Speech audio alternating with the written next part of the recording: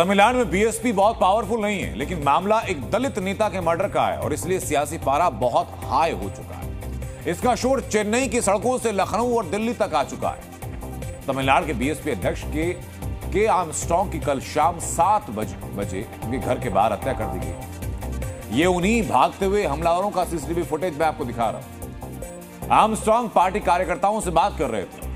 हमलावर food delivery boy बनकर पहुँचे। चाकुओं से ताबड़तोड़ वार किए और इस संकरे रास्ते से फरार हो गए थे। एक और तस्वीर देखिए। दूसरी तस्वीर रात को चेन्नई के राजीव गांधी अस्पताल के बाहर की है।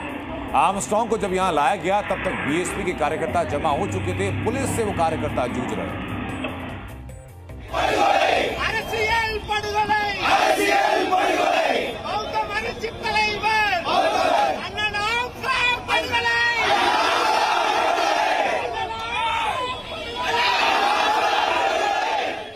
आज सुबह अस्पताल के बाहर बीएसपी के कार्यकर्ताओं ने बैरिकेड्स तोड़ दिए। पुलिस से भिड़ंत हुई। कई बीएसपी कार्यकर्ताओं को हिरासत में लेना पड़ा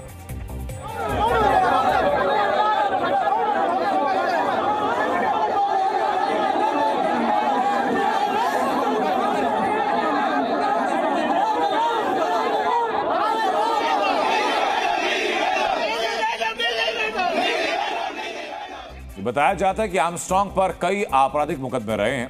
आर्मस्ट्रॉन्ग ने वर्ष 2011 में मुख्यमंत्री एम के स्टालिन के खिलाफ चुनाव लड़ा था। हालाँकि चुनाव वो हार गए थे, लेकिन तमिलनाडु के दलितों में उनकी काफ़ी लोकप्रियता थी। इस वारदात में पुलिस ने जाँच के लिए 10 टीमें बना दी हैं और अब तक आठ लोगों को हिरासत में लिया गया लेकिन यह भी है कि अब तक की पूछताछ में इनकी हत्या से सीधा संबंध किसी का नहीं मिला है।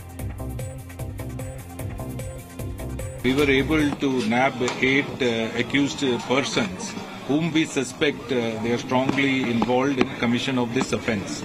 So the team uh, which had arrested them is inquiring them. So the situation in Chennai city is normal. Law and order is maintained, and we will not leave any stone unturned to detect uh, this case and to probe all the various angles where there seems to be some inputs. All the other accused who are part of this crime and who are involved in this will be brought to books. BSP अध्यक्ष मायावती कल चेन्नई जा रही हैं उन्होंने कार्यकर्ताओं से शांति बनाए रखने की अपील की है तो वहीं इस मामले पर ट्वीट भी सामने आ रहे हैं इस मामले को लेकर के बीजेपी के राष्ट्रीय अध्यक्ष जेपी नड्डा ने ट्वीट किया। उन्होंने लिखा कि बड़े दलित नेता की हत्या पर डीएमके और कांग्रेस की सरकार निशाने पर है। जहरीली शराब से दलितों की मौत के मुद्दे के बाद बीजेपी को घेराबंदी करने का मौका मिला और ये ट्वीट उन्होंने सामने रखा।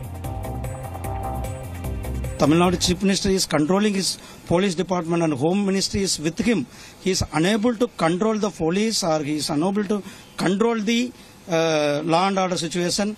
This is very strongly condemned.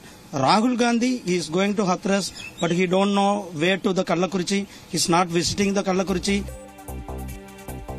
BJP जहरीली शराब कांड की बात लगातार पूछ रही है क्या राहुल गांधी को तमिलनाडु के पैंसठ दलित नहीं दिखते लेकिन आर्म स्ट्रॉन्ग की हत्या पर राहुल गांधी ने तुरंत रिएक्ट किया कहा कि हत्यारे जल्द कटघरे में होंगे तमिलनाडु में दलितों पर सियासी चिंता। इससे समझ सकते हैं कि राज्य में दलित वोट बैंक 20 फ़ीसदी है। डीएमके की वापसी में इसका बड़ा रोल रहा है और बीजेपी के ग्राफ को 4 से 11 परसेंट तक पहुँचाने में भी बड़ा हिस्सा दलितों का। है.